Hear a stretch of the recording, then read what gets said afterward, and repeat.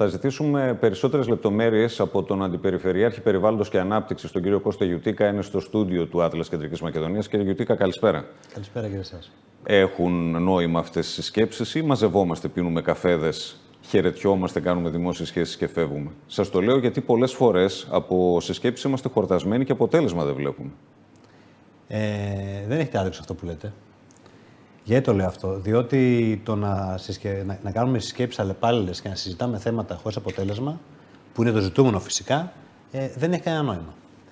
Το, η συγκεκριμένη συνάντηση όμως μέχρι να γίνει, προηγήθηκε μια αλληλογραφία μεταξύ Περιφέρειας και Υπουργείου, έτσι ώστε να μπουν κάποια πράγματα στο τραπέζι για να δημιουργηθεί ένας ενιαίος φορέας, ο οποίος θα αποτελείται ένα κλιμάκιο μεικτό, σκεφτείτε που θα αποτελείται από πάρα πολλές υπηρεσίες. Άλλο φορέα θα κάνουμε. Όχι άλλος φορέας, θα δημιουργηθεί ένα μεικτό κλιμάκιο. Δεν θα πάρουμε ναι. άλλο φορέα. Ένα μεικτό κλιμάκιο από πάρα πολλούς οργανισμούς και φορείς, οι οποίοι θα συμμετέχουν από κοινού μέσα σε αυτά τα μεικτά κλιμάκια, τα οποία θα έχουν συγκεκριμένες αρμοδιότητες. Δεν μας καλύπτει το ΣΔΟΕ, η αστυνομία, πρέπει να δημιουργηθεί καινούριος φορέας στους ήδη υφιστάμενους; Γιατί το πρόβλημα υφίσταται χρόνια. Ακριβώς. Δηλαδή, τώρα, άμα πάμε στην Αριστοτέλου, μπορούμε να αγοράσουμε ό,τι τσιγάρα θέλετε. Έτσι.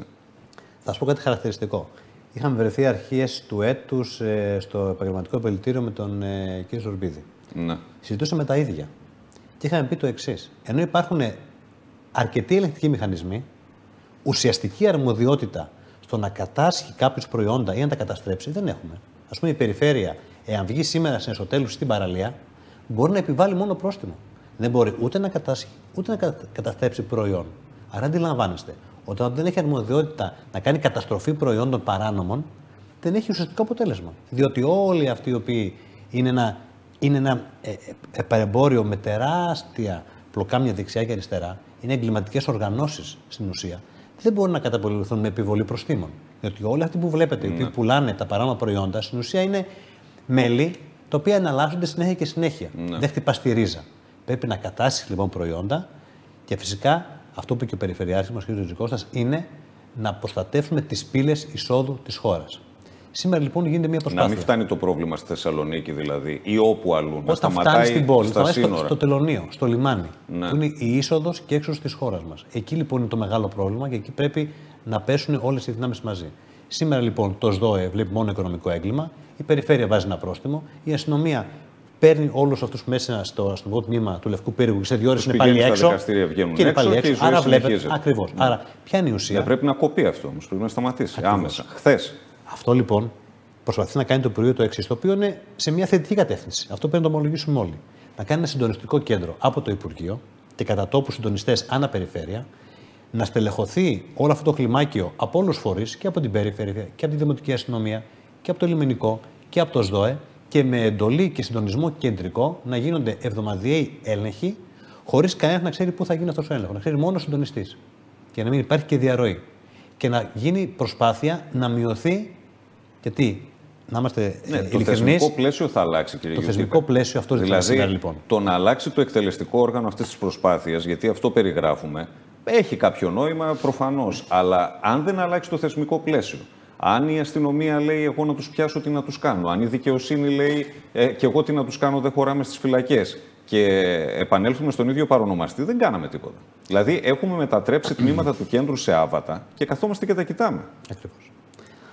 Σήμερα λοιπόν όλοι οι φορείς δηλώσανε ότι υπάρχει πραγματική βούληση. Εμείς ως αυτοδιοικητικός φορέας. Ο, ο κ. Τσιόρλα, συγγνώμη, είναι Θεσσαλονικιός. Ναι, δεν τον πιέσατε παραπάνω. Μας το είπε, μας το είπε ότι είναι από το, ναι. από το ΑΔΑ. Με πάση δεν είναι το θέμα σε αυτό. Το θέμα είναι το εξής. Εμείς οφείλαμε ως αυτοδιοικητικός φορέας, ο οποίος εν της πράγμας έχουμε εφαρμόσει νομοθεσίες, έχουμε δει πού χωλαίνει η νομοθεσία, καταθέσαμε συγκεκριμένες προτάσεις, τροποποιήσεις του νόμου, έτσι ώστε να έχουμε αρμοδιότητες καθολικές και συγκεκριμένες για να μπορούμε να έχουμε αποτέλεσμα. Είστε το θέμα της υποστελέχωση. Το θέμα υποστελέχωσης δεν το βάλαμε, γιατί υπάρχει σε όλες τις υπηρεσίες. Εμείς βάλαμε το θέμα ότι υπάρχει βούληση, αλλά απαιτούνται νομοθετικές ρυθμίσεις για να μπορούμε να κάνουμε καλύτερα και πιο γρήγορα τη δουλειά μας. Από εκεί και πέρα, το Υπουργείο προσχέθηκε ότι αυτές οι τροποποιήσεις νομοθετικές που είναι απαραίτητες θα γίνουν, έτσι ώστε να έχουμε σύντομο αποτέλεσμα και να μπορούμε να βγαίνουμε έξω και σε ώρες ωραρίου που δεν είναι του δημοσίου υπαλλήλου. Δηλαδή, ναι. το παρεμπόριο δεν είναι 7-3. Το παρεμπόριο είναι 4 το πρωί, 8 το βράδυ, Έτσι. 11 τα χαράματα, Έτσι. Σάββατο, Κυριακή. Εκεί χωλένει. Μα έχουν αποθρασινθεί, το δημόσιο. Κύριε Γιουτικά, έχουν αποθρασινθεί. Και εμείς μιλάμε τώρα για μια αστυνομία η οποία λέει τι να κάνω, για μια δημοτική αστυνομία η οποία λειτουργεί με ωράρια σε δύο βάρδιε και Σαββατοκύριακα δεν υπάρχει. Δεν γίνονται αυτά. Τα έχουμε συζητήσει. Πρέπει Δεν να γίνονται. μπορεί να βγαίνει ένα κλιμάκιο οποιαδήποτε ώρα Μας της ακούν ημέρας. και μας κοροϊδεύουν και αυτοί Κυριακή που, αυτοί που κάνουν το λαθρεμπόριο, γελάνε μαζί μας. είναι πάντα ένα βήμα πιο μπροστά. Άρα λοιπόν, για να προλάβουμε και να μπορέσουμε να έχουμε όντως αποτελέσματα, απτά αποτελέσματα, πρέπει να είμαστε ευέλικτοι. Ναι. Για να είμαστε λοιπόν ευέλικτοι, πρέπει και το ανθρώπινο δυναμικό, το οποίο θα αποτελεί το κλιμάκιο, να έχει και κίνητρο οικονομικό, αλλά και να είναι στοχευμένο το τι πρέπει να κάνει. Δεν μπορεί να είναι το πρωί στο γραφείο και τέσσερι το πρωί ή Κυριακή πρωί στην έσω τέλου. Θέλω να σας πάω και σε μερικά άλλα θέματα της αρμοδιότητάς σας. Έρχεται χειμώνας με τα ρέματα, τι κάνετε; Καταρχάς, τι νοσ είναι τα ρέματα; Είναι των Δήμων, είναι της περιφέρειας, της αντιπεριφέρειας ή της ΕΙΑΘ Παγίων. Ε, θα κάνουμε μετά την ιστορική αναδρομή, γιατί και αυτή, και αυτή έχει τη σημασία της. Ναι. Αλλά η αλήθεια είναι ότι στην ε, τελευταία Μητροπολιτική Επιτροπή εγκρίθηκε ο τρόπος δημοπράτησης ενός πάρα πολύ μεγάλου έργου για τον ε, καθαρισμό 48 ρεμάτων ε, στη Θεσσαλονίκη. Και αστικά ρέματα και περιαστικά Δικά ρέματα. σα είναι το Γιουτίκα να ψάχνουμε. Θα ψάχνετε- θα ψάχνετε τις τεχνικές υπηρεσίες. Ναι. Πλέον λοιπόν οι αρμοδιότητες είναι ξεκάθαρες. Να πούμε όμως και, και ένα ιστορικό. Μέχρι το 2011 η αρμοδιότητα των ρεμάτων ήταν σε μια κρατική υπηρεσία, την ΕΙΔΕ, η οποία καταργήθηκε. Μεταβιβάστηκαν αυτές οι αρμοδιότητες μέχρι το 2014 στην ΕΙΑΘ. Από το 2014 μέχρι και το καλοκαίρι υπήρχε μία σύγκρουση βάσει ε, ε, νέων νομοθεσιών για το πού ανήκουν, ποιος έχει αρμοδιότητα στα ρέματα, τα αστικά, τα παραστικά, τα όμβρια. Το καλοκαίρι τελικά καταφέραμε και αποσαφηνίσαμε όλοι μαζί από κοινού ποιος έχει αρμοδιότητα πού. Ναι. Κάπως έτσι Έδωσε το χρεοκοπούν οι Υπουργείο. χώρες, ξέρετε. Ε, ορίστε. Κάπως έτσι χρεοκοπούν οι χώρες. Εμείς λοιπόν συμβάλαμε θετικά. Είπαμε ότι δώστε αρμοδιότητες σε εμάς, εάν δεν μπορείτε να συνοηθείτε οι υπόλοιποι, Ναι. και πόρους.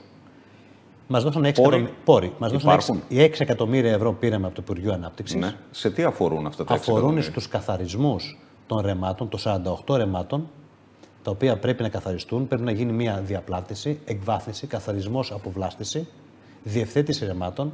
Μιλάμε για χιλιόμετρα ολόκληρα από ρέματα που είναι περιμετρικά, αλλά και μέσα στην πόλη. Ξεκινάνε από την Ναι. Να περιοχή γίνει. να καθαριστεί, να γίνει. Άρα λοιπόν, Ναι, χειμώνιασε. Κοιτάξτε να δείτε, για, για να είμαι ειλικρινής, η απόφαση πάρθηκε το καλοκαίρι. Οι διαδικασίες μέχρι να ολοκληρωθούν και να έχουμε εργολάβο ο οποίος θα αναλάβει τη δουλειά, επειδή είναι διεθνής διαγωνισμός και μιλάμε για 6 εκατομμύρια ευρώ, είναι από 4 ως 6 μήνες. Έχουν περάσει οι δύο, άρα για να έχουμε εργολάβο σίγουρα θα μπούμε στο 19. Αυτή είναι η πραγματικότητα. Ναι. Και με, μιλάμε τρει- Γενάρη, και, με Φλεβάρι τρεις, και με τρεις του ενστάσεις 19. θα πάμε στο 20. Ευελπιστούμε Να παρακαλάμε το Θεό να μην, έχουμε ρίξει πολύ ενστάσεις. βροχή. Κοιτάξτε να δείτε. Εν πάση περιπτώσει, ξεκίνησε μια διαδικασία η οποία θα Ναι. ολοκληρωθεί. Η διαδικασία των ενστάσεων και των διεθνών διαγωνισμών είναι αυτή. Θέλει τόσο μεγάλο χρονικό διάστημα. Τουλάχιστον όμως καθαρίστηκε η αρμοδιότητα, δόθηκαν τα χρήματα και τρέχει η διαδικασία του διεθνούς Ναι. διαγωνισμού, η οποία θα δώσει λύση στα 48 ρέμου που ξεκινάνε από δυτικά, διαβατά, δεντροπόταμο. Είναι όλη η περιφερειακή τάφρος των 8 χιλιόμετρων που περιβάλλει τη Θεσσαλονίκη είναι ρέματα εντός της πόλης, φτάνει μέχρι και το ρέμα του αεροδρομίου, τα γαράδες, πιάνει μηχανιώνα, θέρμη, φίληρο, θερμαϊκό, περαία. Άρα περιλαμβάνει πάρα πολλά ρέματα που Έχετε- δυστυχώς έχουν να καθαριστούν πάνω από 6 και 7 χρόνια. Έχετε αναφέρει περιοχές οι, οποίοι έχουν, οι οποίες έχουν πλημμυρίσει στα τελευταία ένα-δύο χρόνια. Και αντιλαμβάνεστε ότι με το που βλέπουν ότι αλλάζει ο καιρός, κατευθείαν ε, αισθάνονται ότι έρχεται νέα απειλή.